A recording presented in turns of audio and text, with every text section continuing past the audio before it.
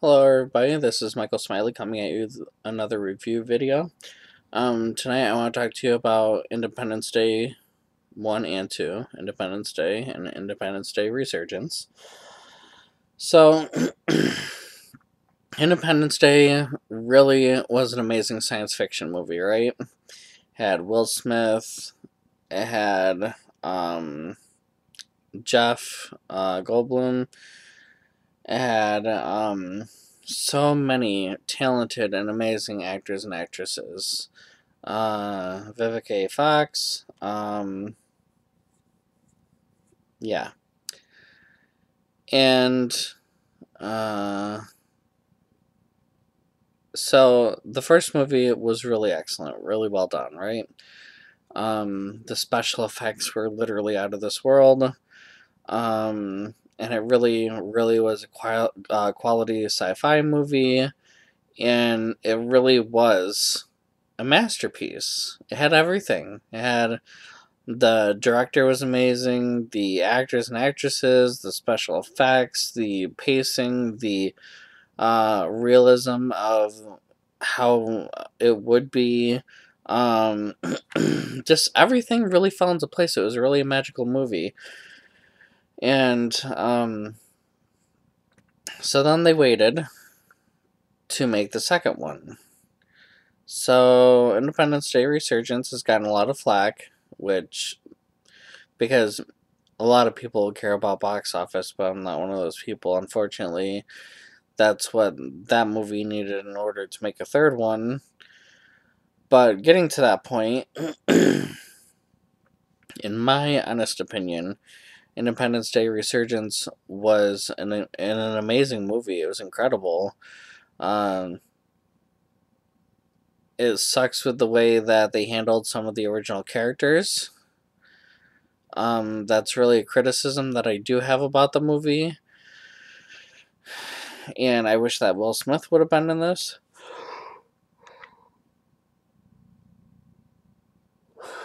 Um, but sorry guys, it's I'm tired and have a headache and it's really late, but well, not really late, but feels like it's really late. Um but like the special effects are amazing and the aliens and they introduced some new stuff and everything. It was really exciting. I really loved it. Um, I went to theaters and seen it.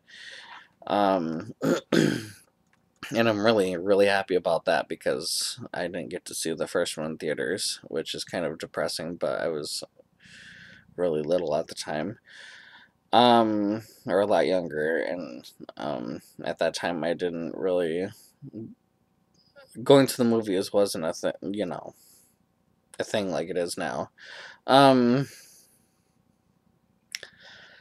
so this movie did an excellent job with building up the hype for a third one. The problem is is that the box office it didn't do nearly as good as the first one, so I guess they're not doing a third one or they're waiting, whatever the case may be, but it's really sad and they should do a third one because they really leave it on a cliffhanger, which really sucks and I hate cliffhangers more than anything. Um, because the second one builds up the third one so much, and the third one has so much potential. So much potential. If you've seen the movie, you'll know what I'm talking about. There's so much potential for a masterpiece of a third one if they do it right if they would have done it right, if they were able to do it, if they're going to be able to do it. It would literally blow everyone's minds. I have a feeling. It's there. They have they have the right thing going for this franchise and if they would have oh the box office. Anyway, um yeah, I think that the third one would have been amazing. Um, and it's really sad that the second one really built up the hype of a third one, and the third one's not going to happen, unfortunately, unless something drastic happens.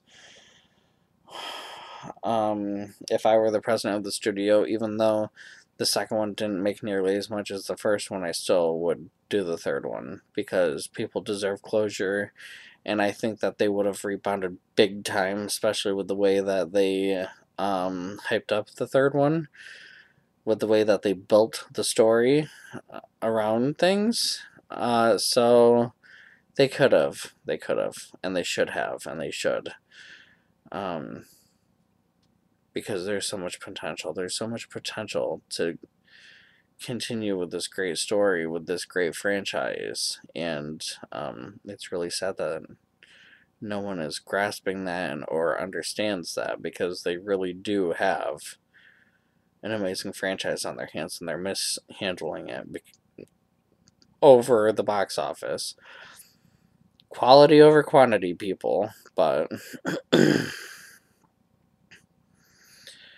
it just sucks. Um, that studios don't care about quality, they care about quantity, and money talks, unfortunately.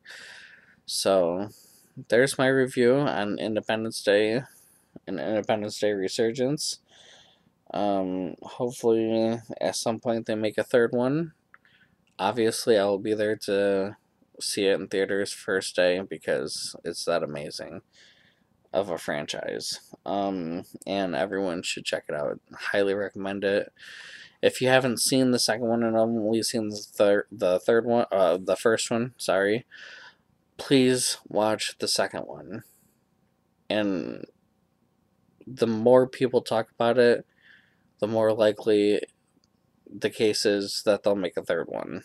So, uh, you know, if you like my review, like, subscribe, comment. Um, I love this franchise, so we can talk about it all night if you want to. Um, you know, it's so amazing. It's great.